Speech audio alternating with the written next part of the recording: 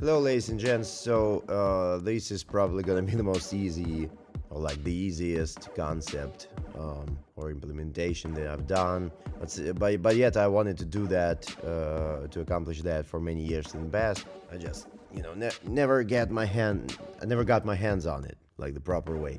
I never needed that on any, on any of my projects like almost on almost any of them besides like my very very first job ever um, but uh, yeah but i always was curious on how to achieve that and, and you know i think i i finally have so uh, this is gonna be so we're gonna like uh, take a look at the at the uh, gmail email API automation via Playwright, of course. We're gonna run it locally and in CI.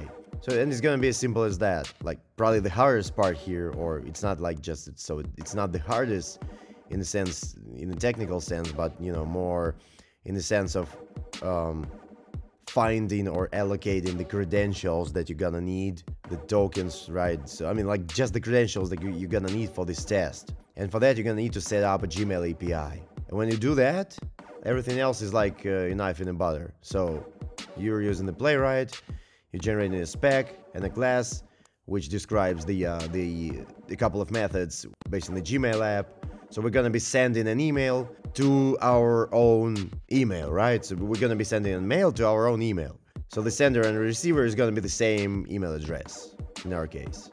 But in your case, it can be like, it can be, those can be dif different or whichever you want to. This is a template for your project, so you can kind of implement that and capitalize on it if you want to, of course, or if you need to.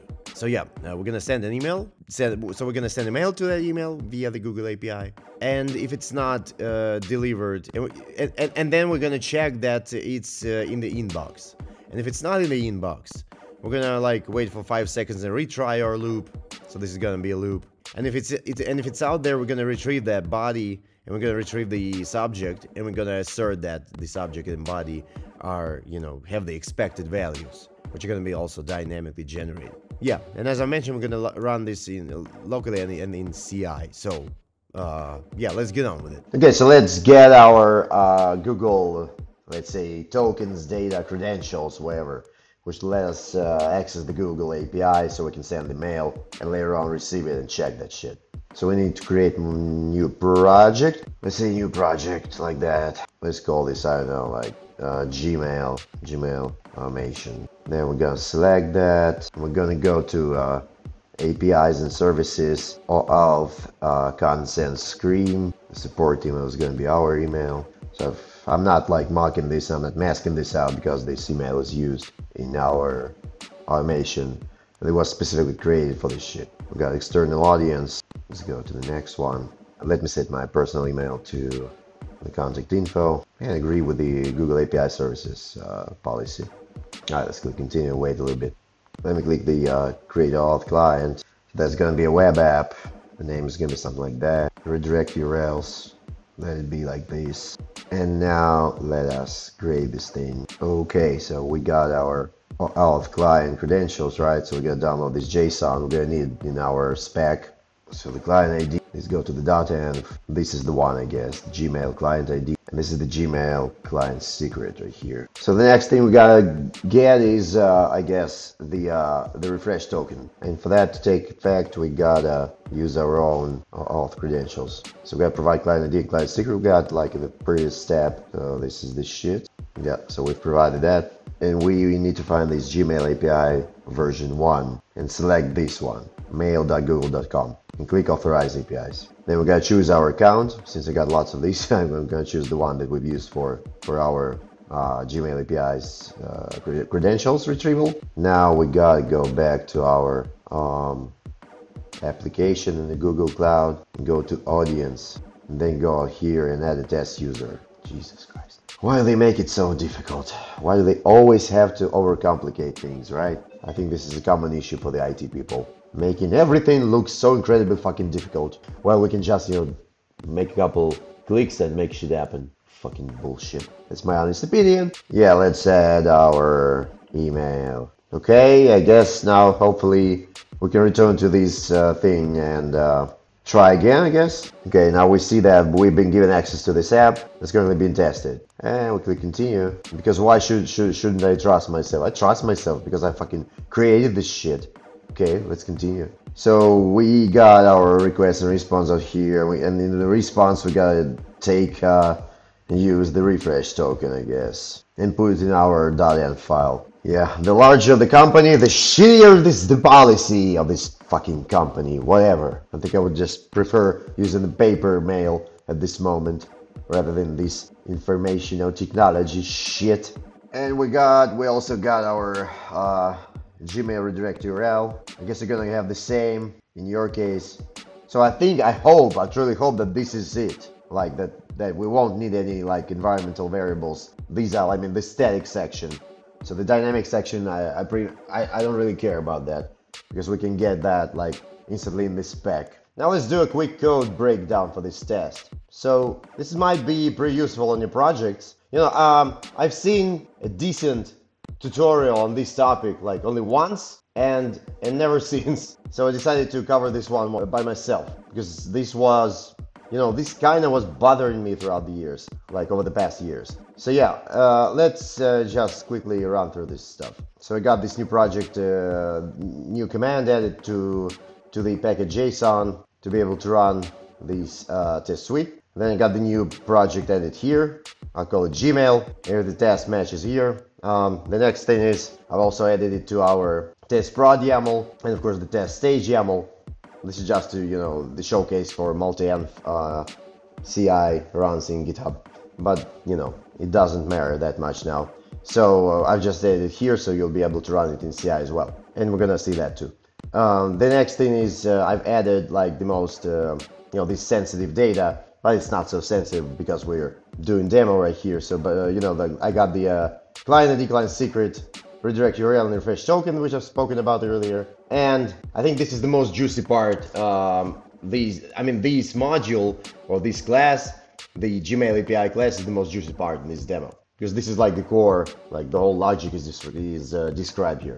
So I'm using the uh, Nodemailer and Google APIs um, for, you know, for uh, triggering the emails and checking that. So I got the interface which uh, corresponds to the Gmail test data and the test data module is here. So I'm going to be sending this test data like the sender, receiver, emails, then we're to have the subject and text. This one corresponds, this email corresponds to the account where I have set up that Google um, Gmail API service so that we're able to interact with the Google API programmatically via the methods in this class, for example. So we got the interface, Next, we got this class. So at first we got our variables, then we got our constructor where we assign the values to these variables. Of course, these are the, those four critical um, critical API uh, critical environment variables, which we're gonna be using when we when we handle the auth2 for the Google APIs right here. So we're passing the client ID, the secret, and the redirect URI. And once we handle that, we're setting the credentials. We're also passing the uh, we're passing the refresh token, which is set in our .env file. So the next thing we got, we instantiate the Gmail kind of you know, instance so that we're able to interact with it um, in the further methods, like programmatically. And we basically we're gonna have just two methods. One is gonna be send the email from the specific address with a specific email body and to a specific uh, recipient. And another, the second method is gonna check that the email is in the inbox, um, that it contains the subject fragment, like the substring, and then it also contains the expected body text. So we're gonna retrieve that body text. I mean, like we, we're gonna retrieve the whole email body, the mail body, right? And we're gonna expect it to contain, you know, some string of our choosing, right? The one that we have uh, the, the one that we have sent in the send email method. So let's go through the send email method then. So first we, we got, so yeah, it's gonna receive the interface, the Gmail data interface. Then it's gonna have like, we're gonna have the access token, which is the dynamic part of the sensitive data. So we're gonna retrieve the access token with an auth2 client, which we have instantiated earlier and processed earlier. So next we uh, we declare the transport constant and we're creating the transport uh, via the nodemailer with the Gmail service and with the auth like, you know, the, we, we, we set the type we set the sender email right, right here from our test data, which is this one. We set, you know, the sensitive data, client ID, client secret, and refresh token, and we send the uh, we set the access token, which we have just received. You know, being more specific, we set the token uh, parameter of uh, of the access token itself. So this should be an object. Um, yeah, once we have instantiated this transport constant, so uh, we the next thing we do is we um, we declare the result constant, and it's gonna wait until we use the send email method on this transport on the nodemailer. We're gonna pass like the sender receiver emails, which is the same email in our case, but it's gonna be probably can be different in your case. Let's say you're gonna be using the email alias with a plus. I mean something like or something like that. Test one, two, three, four. So that's up to you. I'm only showing you. I, I am only showing you the uh, the core, the schema, which can be adjusted and customized based on your needs. We are sending an email and we're checking that we and we're logging it to the console that uh, you know the uh, we send an email with a subject and we're also logging the message ID. So that's our send email method. And then let's go and take a look at the wait for unread emails with the subject fragment. Yeah, I know it's a bit long, but you know, for the wholesomeness of this demo once again. So we're gonna send some arguments to that, like subject fragment, of course, string or a substring of the of the subject, that we've sent an email with in the previous method, this subject, right? So, um, and we're also gonna have the expected body text, which would correspond to the data text right here. And it's gonna return a promise, either a string or null.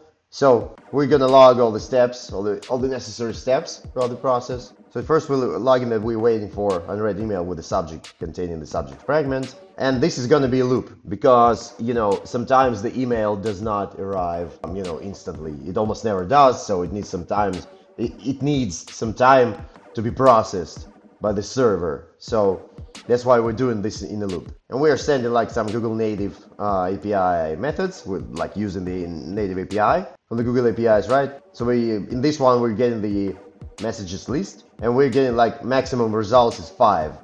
But you know, for the purpose of this demo, we, we, we can just get the, you know, the one result. But let's do five since we're gonna iterate through them. Um, and we store those within the const uh, within the constant and if there's like no messages or the length is null is zero i'm sorry um, we are gonna log that there's nothing like no unread messages uh, present in the in the inbox. And then we're gonna like make a five second delay. Like just basically like insert a five second timeout and retry the cycle retry the loop right? Reiterate the loop. If a message per, uh, if, if the message exists out there if there is at least like one message you know so uh, it's gonna return an array. This is like definitely gonna be an array.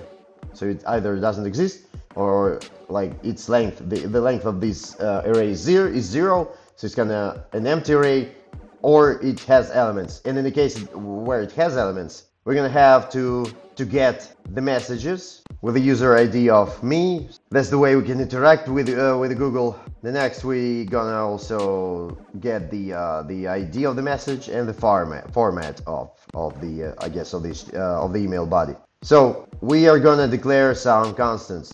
First one's gonna be headers. We're gonna return the headers. So we're gonna store the headers out there. Then we're gonna have the specific subject header and we're gonna retrieve so at first we gotta store you know we, we gotta retrieve the headers then we gotta retrieve the subject header from those headers right and then we gotta retrieve the subject from the subject header which is like the string the text value of the subject in your email whenever you compose an email that's the subject so basically this, this is like an abstract representation of that shit so if the subject which is formatted to lowercase includes the subject format for the subject fragment which is also formatted to lowercase like if it's not there or this condition isn't met, we are reiterating the loop. But if it is there, so we declare the uh, variable, we call it the body, and then this part retrieves the actual body of the, you know, of the email. To cut a long story short, this piece of code converts the email body to the UTF-8 format, which is like text readable, readable by the machine. In our in our case, it's by Playwright, by automation uh, framework. So once it's done, we're logging that the email has been found, we're logging the subject, and we're logging the body. So we trim it, but we're still logging it to the console. And if it does not include the substring, so we are going to be logging that specifically and, reiter and reiterating the loop because the email body does not contain our expected body text. expected substring, I'm sorry.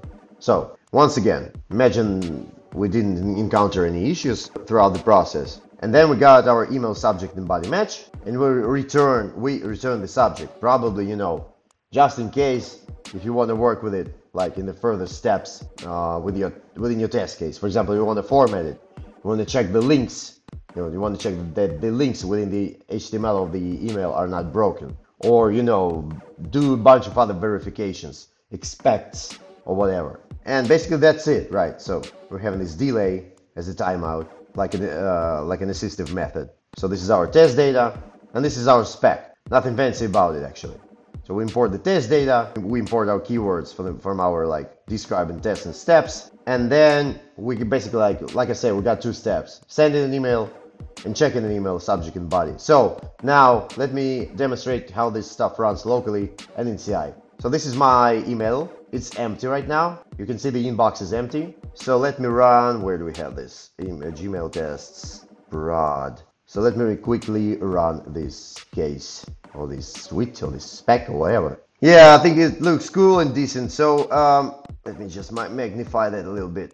So here's our env, and we've sent an email with the subject of like of this, like a date string, random date, and the message ID. So we're waiting for the unread email with the subject containing this substring. We have found an email like from the first attempt. We got our subject of the email, and we got the body. So like this is an automated test email from play from playwright with a random date string, right? So nothing fancy about it. And we have verified that uh, the email subject and body match. So here is our email. This is the body, uh, this is the subject, this is the subject, and this is the body. And here's our subject from our test. And obviously here's our body. So looks looks looks decent to me. And let me also show you how this thing runs in the CI, right?